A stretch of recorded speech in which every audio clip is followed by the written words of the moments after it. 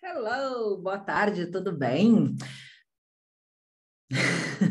boa tarde, bom dia, boa noite, dependendo do horário que você estiver assistindo essa aula.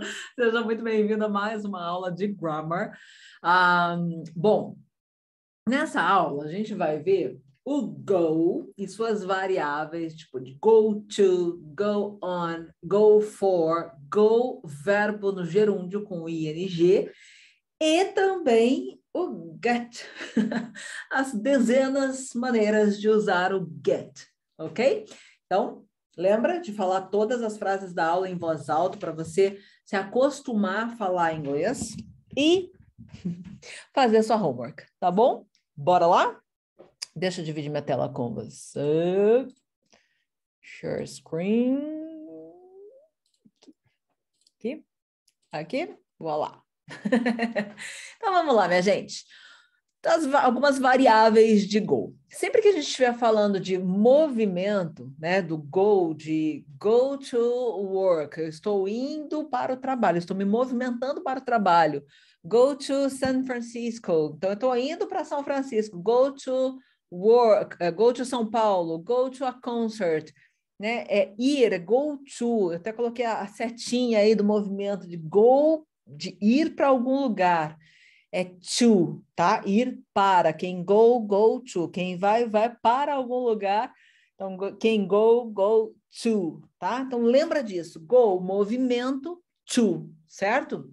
Então, ó, olha os exemplos que tem aí. What time do you usually go to work? Então, que horas você normalmente, usually, go to work, vai para o trabalho? Então, go to. I'm going to China next week. Então, eu estou indo to China. Eu estou indo para a China next week, próxima semana. Jean didn't want to go to the concert. Então, Jean não quis ir, didn't, né? Passado, ó, auxiliar no passado, did not, didn't, não quis, want to go to, ir para the concert, o show. What time did you go to bed last night? Veja, o go to bed é ir para a cama, tá? No sentido de movimento, go to bed. Então, que horas você foi para a cama ontem à noite? Last night, na última noite. I went to the dentist yesterday. Então, passado simples de go, went, né? É um verbo irregular, então go, went, gone. Então, I went to, eu fui pro the dentist, dentista, yesterday, ontem. Ok? Então, go de movimento, go to. Quando a gente fala go to sleep, é quando você start to sleep, é quando você de fato começa a dormir, né? Porque tem, tem aquilo, você go to bed, você vai para a cama, mas não necessariamente que você dorme assim que você go to bed. Quando você fala go to sleep, é porque de fato você dormiu, ok? Olha só. I was very tired and went to sleep quickly. Então eu estava muito cansado e went to sleep, to sleep. Eu fui dormir no sentido de eu cair no sono quickly, rapidamente. Eu dormi de fato rapidamente, ok? Tem uma exceção aí. O home, nossa casa, nosso lar, né? A gente a nossa casa a gente não chama de house, né? A gente costuma falar nossa home, ok? E aí para home a gente não usa to. Então, I'm going home, eu estou indo para casa now. É a única exceção do go, de movimento, que a gente não usa o to, o para. É para nossa casa, para o nosso lar. Então, vou para o meu lar, vou para minha casa, é go home, ok? Então vamos lá, tem outras variáveis de go, né? Não é só go to. O go to, movimento que você está indo para tal lugar. Agora a gente tem go on. Go on vacation, então ir de férias. Go on a trip, ir numa viagem. Go on a tour, ir em um tour. Go on an excursion, ir a uma, eh, em uma excursão go on a cruise, ir em um cruzeiro, go on strike, ir em greve. em português a gente fala sair de greve. Go on a strike. Fazer uma greve ou entrar numa greve ou ir para uma greve, ok? Olha os exemplos. We are going on vacation next week. Estamos indo de férias. Estamos entrando em férias, né? Go on vacation. Entrando em férias next week, semana que vem. Veja que nem tudo que você traduz ao pé da letra em inglês, né, do inglês para o português, faz sentido. Tá? Então, a gente tem o nosso jeito de falar e não necessariamente vai ser igual. A construção da frase é, não necessariamente é igual em inglês. E vice-versa. Né? Tem a construção da frase em inglês, não necessariamente vai ser a mesma em português. Então, você precisa ir se acostumando com as construções das frases em inglês, tá bom? É, com o tempo, com a prática, né, com o passar do tempo praticando todos os dias, vai ficando mais natural para você, sem a necessidade de traduzir tudo na sua cabeça, ok? Você vai perceber que já na, pro, na próxima grammar, a gente não vai ficar traduzindo tudo, para você ir se acostumando, tá? É um processo de aprendizado, então você vai se acostumando a não ficar traduzindo palavrinha por palavrinha, tanto do português para inglês quanto do inglês para português, mas é um processo ok? Então fique tranquilo. Então, children often go on school trips. As crianças, com frequência, esse often é com frequência, go on school trips. Uh, vão em viagem da escola, em viagens da escola. When we were in Egypt, quando a gente estava no Egito, we went on a tour of the pyramids. A gente foi em um tour das pirâmides. Went on a tour, ok? Workers at the airport, os trabalhadores no aeroporto, have gone. Oh, esse have gone é present perfect, que a gente já viu. Então, workers at the airport, os trabalhadores no aeroporto, have gone on strike. Foram em greve. em português não faz sentido. Em português a gente fala estão em greve, fizeram uma greve, tá? In English, have gone on strike, ok? Meaning they are refusing to work, eles estão se negando a trabalhar, certo? Go for, olha só, então go somewhere, ir a algum lugar, for, para alguma coisa. Então, go for a walk, go to uh, the park for a run, go to the club for a swim, go to the cafeteria for lunch, go to a restaurant for dinner, ok? Olha só, where's Joan? Cadê a Joan? She went for a walk. Ela foi para uma caminhada. Então, a gente pode ocultar eh, para onde ela foi para falar o que ela foi fazer. Então, she went for a walk. Do you go for a run every morning? Quer dizer, não vou perguntar se ele vai até o parque correr. Posso perguntar, você vai correr toda manhã? Então, do you go for a run every morning? The water looks nice. I'm going for a swim. Quer dizer, a, a, a informação de onde ele vai nadar está oculta, né? Não precisa estar explícita.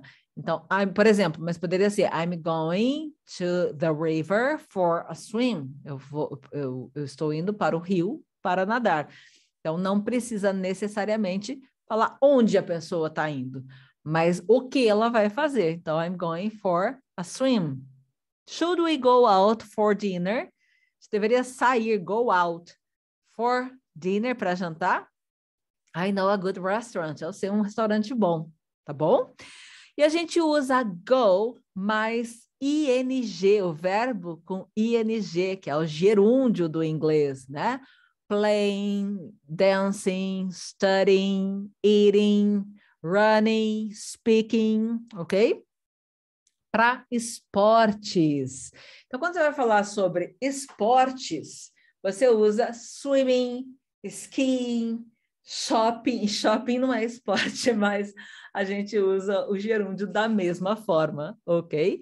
Então, olha só, as variáveis, né? I go, presente simples, he is going, presente contínuos, we went, simple past, passado simples, they have gone, present perfect, she wants to go, ela quer ir. E aí a gente pode usar shopping, é o único verbo que não é um, uma, um esporte, né? Uma ação. Quer dizer, é uma ação, mas não é um esporte.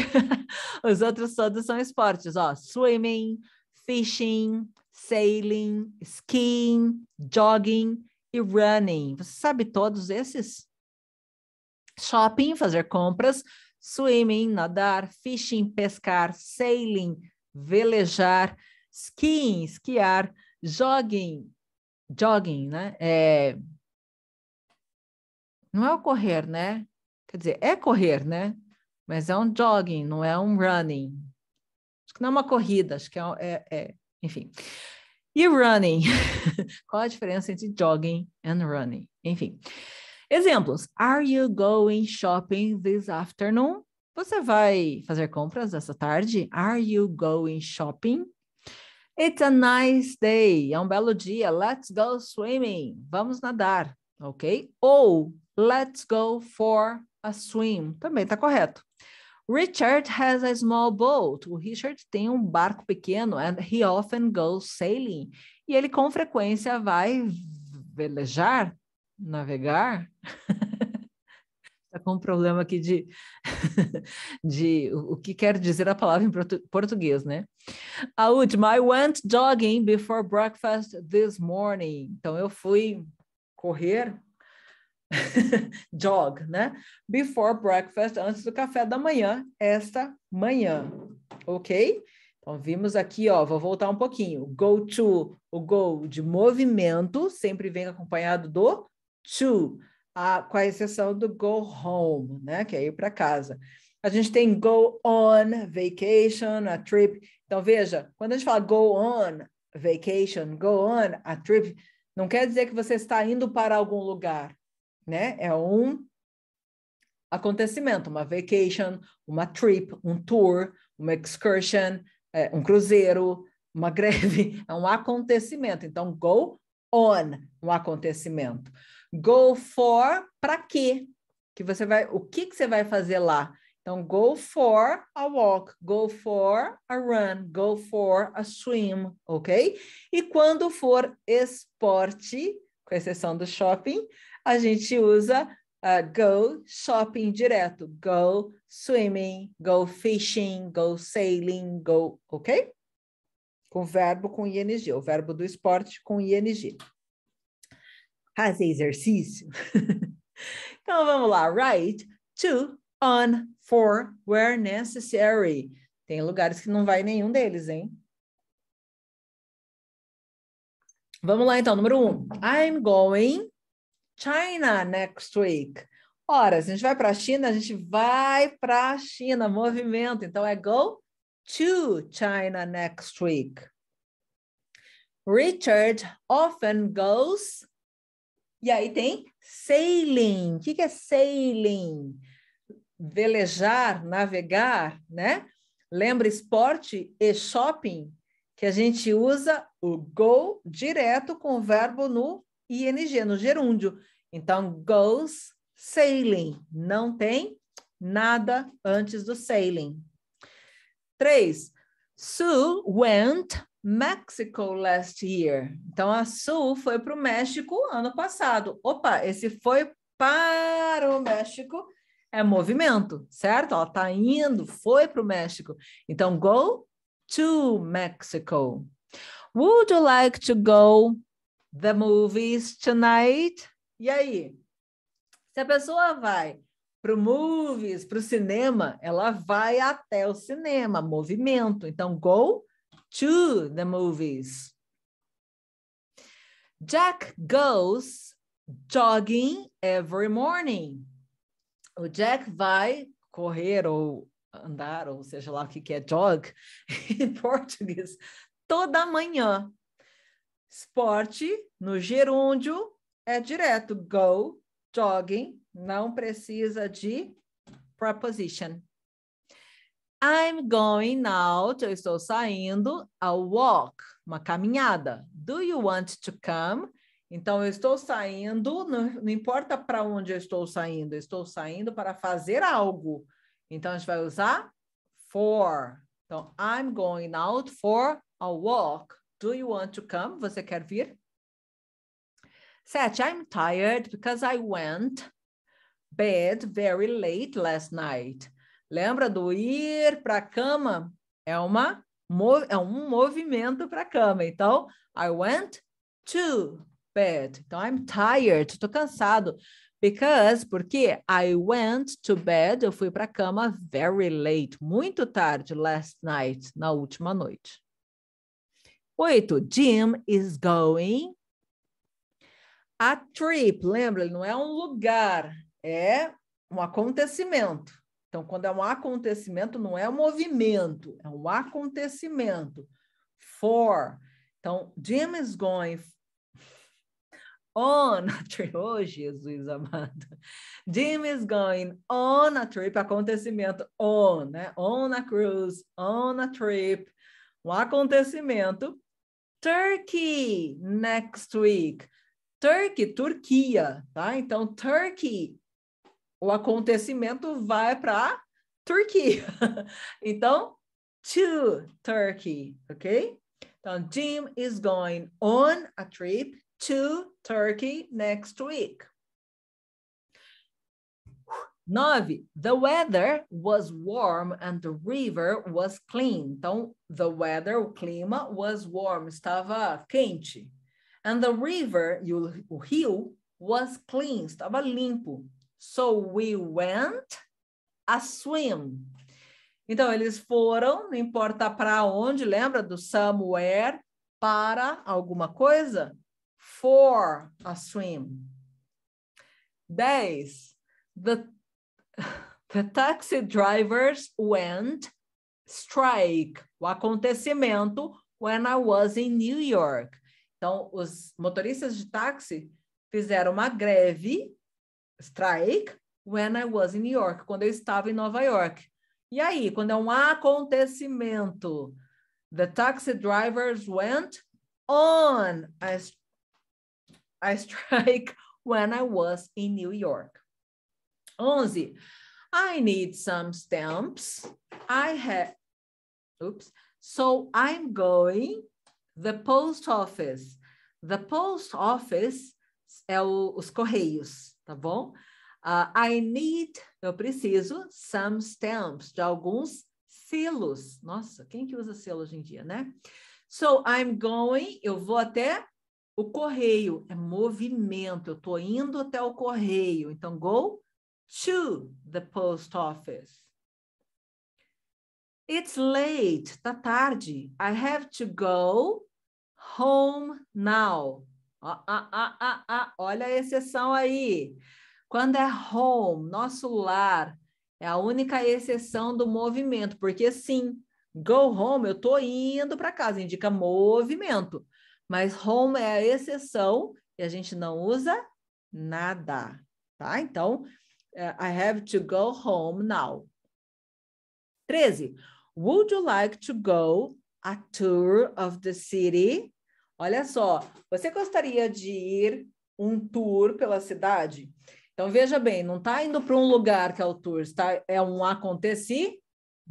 Se é um acontecimento, a gente usa on. Would you like to go on a tour of the city?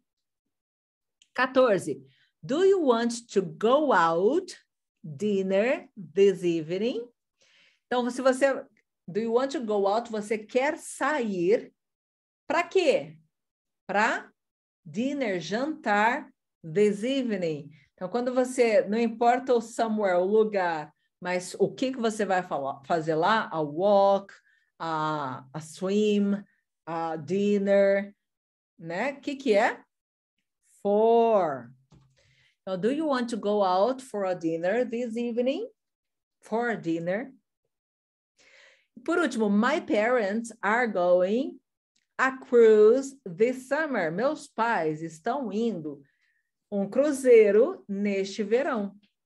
Esse cruzeiro é um acontecimento, não é um destino, é um acontecimento. Se é um acontecimento, a gente usa on. Então, my parents are going on a cruise this summer. Ok? Vamos fazer mais um? Respira, tá bom? Não é mais um, vamos pro get. Olha só, tem mais dois exercícios para você fazer na sua homework, para você fixar, ok? E aí, com o tempo, você vai se acostumando com o uso das prepositions, certo? Não se desespere. Então, vamos para o get. Gente, o get tem mil e uma utilidades, é igual bombril, né? Tem mil e uma utilidades. Então, ó, get a letter, get a job, get mais substantivo, que a gente chama de noun, é, é, significa receive, receber, comprar ou encontrar achar, tá bom? E assim mesmo, get tem vários significados, vários usos. Então, se você fala get mais um substantivo, que em inglês a gente chama de noun, é, significa receber, encontrar, comprar, tá bom? Então, olha o exemplo. You don't have something. Você não tem alguma coisa. Something, alguma coisa. You get it, você consegue, então você have it, você tem, ok? Então, olha os exemplos. Did you get my postcard? O que, que eu estou perguntando? Você recebeu o meu cartão postal? Outra coisa que a gente não usa mais, né? O meu cartão postal? Yes, I got it yesterday. Eu recebi ontem, ok? Olha o outro. I like your sweater. Eu gosto do seu da sua blusa. Where did you get it? Onde você recebeu? Não, comprou. Tá, tá bom? Então, assim, é, o get significa um milhão de coisas. As pessoas brincam, né? Que se você não souber a palavra, usa o get, que as chances de acertar são grandes. se você não souber um verbo, põe o get no meio, que ele significa muita coisa mas no sentido de buy, de comprar. Where did you get it? Claro que você pode falar where did you buy it, né? Mas você pode usar o get. E o get é muito, muito, muito, muito, muito comum, tá bom? É claro que se você pensa em fazer a prova, você precisa saber disso, né? Que a gente usa o get para um milhão de coisas. Agora, quando você for fazer a prova, ao invés de usar o get para um milhão de coisas, você vai usar cada verbo, né, que você vai usar, tá bom? Não é para ficar substituindo os verbos por get, não, nos, nas suas redações ou nos seus exercícios de speaking, tá bom? Então vamos lá. Uh, it, is it difficult to get a job at the moment? É, é difícil de encontrar um emprego nesse momento? Então, encontrar, né, no sentido de find, ok? No telefone, hello, can I speak to Lisa, please? Sure, I'll get her. I'll get her. Eu vou pegá-la? Não, eu vou find, encontrá-la, ok? Então, get com substantivo é, significa, pode significar receive, buy e find, ok? Olha lá, get hungry, get Cold, get tired. O que, que é hungry? Com fome. Cold, com frio. Tired, cansado. Então, são, todos esses são qualidades, adjetivos, né? Então, get mais um adjetivo significa become. Então, olha só. You're not hungry, você não está com fome. You get hungry, você fica com fome. You você se torna com fome, né? Você se torna com frio. You are hungry. Você está com fome. Então, olha os exemplos. If you don't eat, you get hungry. Se você não come, você fica com fome. Você become, né? Você passa a estar com fome. É o get, é o become, ok? Drink your coffee. Toma seu café. It's getting cold. Está se tornando frio. Está ficando frio, ok? Está esfriando. It's getting cold. I'm sorry your mother is sick. Sinto muito que sua mãe está doente. I hope she gets better soon. Espero que ela se torne melhor, fique melhor soon, ok? Gets better. It was raining very hard. Estava chovendo muito pesado. We didn't have an umbrella. A gente não tinha um guarda-chuvas. So we got very wet. A gente se tornou, ficou muito molhado. Gente, esse get com, com adjetivo, a gente pode usar em português para ficar uma tradução mais simples, como ficou, tá? Então, get com adjetivo é, é, é no sentido de ficar, tá? Become in English. É que o become é tornar-se, né? Mudar o estado. Mas em português a gente usa ficou molhado, ficou com fome, ficou com frio, ok? Ficou melhor, tá bom? A gente usa o get junto com get married para casar. Então, o verbo casar é get casado, ficar casado. É get married, ok? Então, o exemplo: Nicole and Frank are getting married soon. Então, a Nicole e o Frank vão se casar logo. Are getting married soon. Ok? Estão se casando logo. Get dressed é a mesma coisa que se vestir, colocar suas roupas. I will get dressed. Eu vou me vestir, tá? Então, olha o exemplo. I got up and got dressed quickly. Então, eu levantei e got dressed, me vesti quickly, rapidamente. Get lost, se perder. É lose your way, né? A mesma coisa que perder seu caminho, é se perder. We didn't have a map, a gente não tinha um mapa, so we got lost. Então, nós nos perdemos, ok? Ficamos perdidos, ok? Get to a place. Get to a place é a mesma coisa que arrive, ok? Então, olha só, se você falar I usually get to work before 8:30, você está falando aqui você usually, normalmente, get to work é, chega no trabalho before 8:30, antes das 8h30. Então, esse get to significa a mesma coisa que arrive. Então, get to work é a mesma coisa que arrive at work, ok? We left Boston at 10:15. A gente deixou, left, saiu de Boston às 10h15. And got to Ottawa. E a gente chegou a Ottawa at 11:45. Ok? Get to é chegar em algum lugar get here ou get there sem to, né? Get to here ou get to there. Não. Get here, get there. How did you get there? Como que você chegou lá? Ou how did you get here? Como você chegou aqui? Get here, chegar aqui. Get there, chegar lá, não precisa de to. By bus, de ônibus. E home também não precisa de to tá? Então, get here, get there e get home não usa to. Uh, what time did you get home last night? Que horas você chegou em casa noite passada? Ok. Para acabar, olha ali, ó.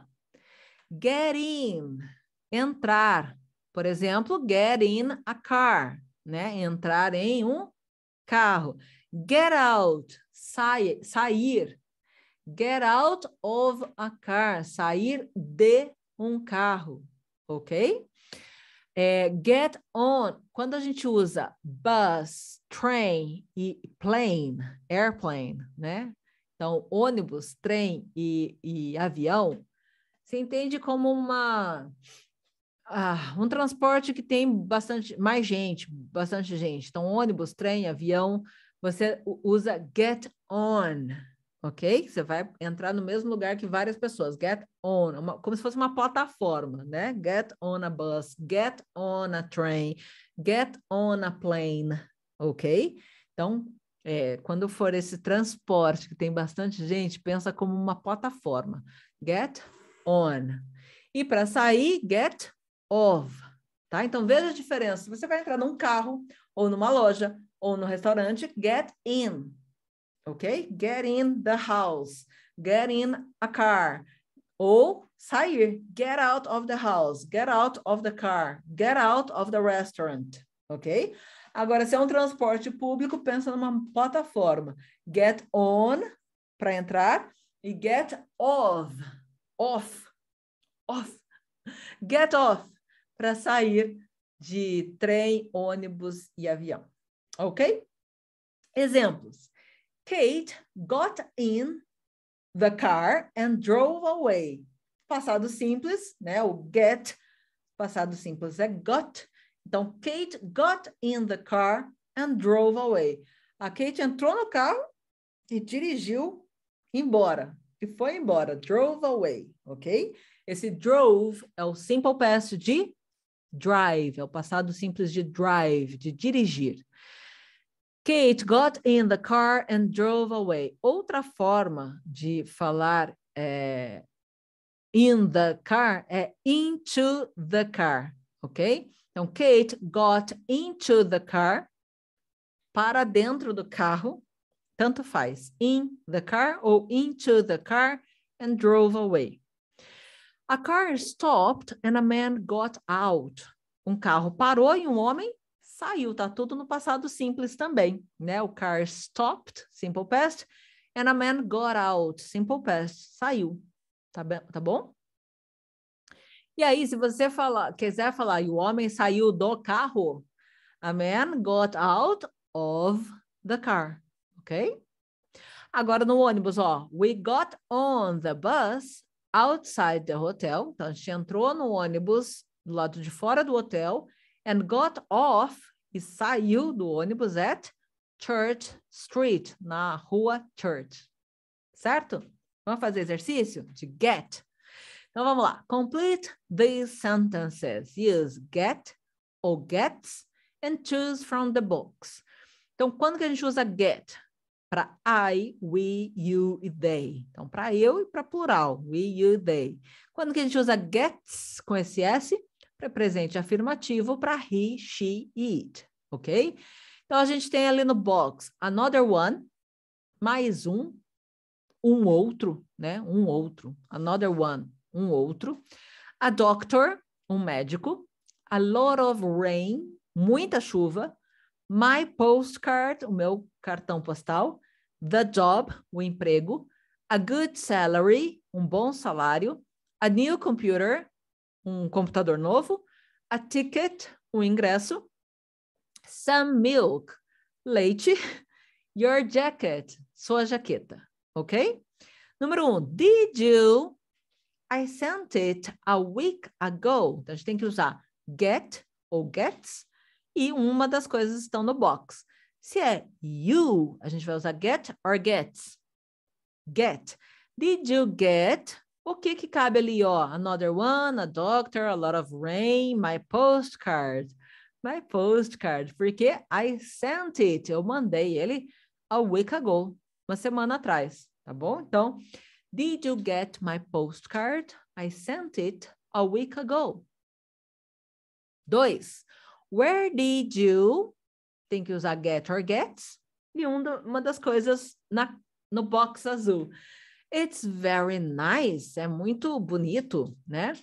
É muito bom, é muito bonito. Where did you? Se é you, vai ser get or gets? Get. Where did you get your jacket, que cabe aí, né? Que it's very nice, é muito bonito. Três, quick, rápido. This man is sick. Esse homem tá sick, doente ou passando mal. We have to get o quê? Se é o we, é get e não gets, ok? Então, we have to get o quê para o homem que está passando mal? a doctor, um médico, né? We have to get a doctor. I want to return this phone. Eu quero devolver esse telefone. It doesn't work. Ele não funciona. Can I get o quê? Please. Então, como sou I, é get e não gets, né? Então, can I get o quê? Um outro? Another one? Can I get another one, please? Cinco. Tom has an interview tomorrow. I hope he. Opa! Para he, she, it, presente afirmativo, a gente usa gets. Então, Tom has an interview tomorrow. Tom tem uma entrevista amanhã. Eu espero que ele consiga o quê? O que, que tem ali de job? The job. I hope he gets the job. Seis. When you go out, can you get alguma coisa? Se é you, é get, né? Can you get o quê? Quando você sair, você pode comprar alguma coisa? O que, que cabe ali? Some milk. Quando você sair, você pode comprar leite? When you go out, can you get some milk? Sete. Are you going to the concert? Você vai para o show? Yes, if I can get or get.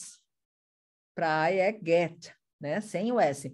If I can get o quê? Um ingresso, a ticket. Yes, if I can get a ticket. Margaret has a well-paid job. A Margaret tem um well-paid job, um emprego que paga bem. She gets, né? Porque é she, então he, she, it, a gente usa gets com S. O quê? O que, que cabe ali? A good salary. She gets a good salary. The weather is horrible here in winter. Então, o tempo, o clima é horrível aqui no inverno. We get, porque não, para he, she, it, a gente usa gets, né? Então, we get o quê? Se o tempo é horrível, o que, que cabe ali? A lot of rain. We get a lot of rain. Por fim, I'm going to get o quê? The one I have is too slow o que eu tenho é muito lento. Então, I'm going to get a new computer. Eu vou comprar a new computer, um novo computador. Ok? Vamos mais um? Complete the sentences. Complete as frases. Use get, gets ou got. Ó, oh, dessa vez pode usar get para I, we, you, they. Gets para he, she, it. E got para simple past, ok? Mas essas palavras, a gente tem angry, de bravo, better, melhor, hungry, com fome, lost, perdido, married, casado, old, velho e wet, molhado. São todos adjetivos, ok? É o tal do become, né? Do ficar em português para facilitar, tá bom? Então vamos lá, número um. If you don't eat, se você não come, you get hungry, com fome. You get hungry. Cuidado ali com o primeiro e o terceiro adjetivos, tá bom? Ó, é quase parecido, né? Um começa com A, o outro com HU. Então é angry, de bravo, angry, e com fome, hungry, ok? Hungry. Angry, angry e hungry, com fome. Bem que para muita gente é sinônimo, né? Tá com fome fica bravo. Nem vou falar para quem é assim. Dois, don't go out in the rain. Não saia na chuva. You will get o quê? Wet. Você vai ficar, vai ficar molhado, vai se molhar. Três, my brother. My brother é meu irmão. É he, não é? Então a gente tem que usar get, gets ou got? Gets. Ah, só que tem ali, ó, last year, ano passado. Então vai ser got. Então, my brother got o que ano passado? His wife's name is Sarah. O nome da sua esposa é Sarah. Então, got married. Quatro, Dan is always very calm. O Dan está sempre muito calm, calmo. He never fica bravo. Agora é presente simples afirmativo he. Então vai ser gets. Como que é o, o bravo? Angry. He never gets angry. We tried to find a hotel, but we a gente tentou encontrar o hotel, mas a gente se perdeu. Como que vai falar? We, passado simples, porque we tried já está no simple past. Então, simple past de get é got. But we got, perdido, lost. Says, everybody wants to stay young. Todo mundo quer ficar jovem, but we all, mas todos nós envelhecemos. Então, we é get or gets or got. Tá no presente, então é get para we, né? But we all get o quê? Old. Envelhecer, get old. Yesterday, ontem, the weather wasn't so good. O clima não estava bom, so good, não estava tão bom. At first, no começo. But it during the day, mas melhorou durante o dia. Então, a gente vai usar simple past, but it got o quê? Better during the day. Ok? Do your homework para fixar essa matéria. Não perca a aula que vem, que a gente vai ver do, make, para fazer. Os dois a gente usa para fazer e a gente vai entender qual a diferença e quando usa o quê e have, vários usos do have, tá bom? Então, ó, esteja na aula que vem, não perca, depois de fazer a sua tarefa de hoje, tá bom? Um beijo e até lá.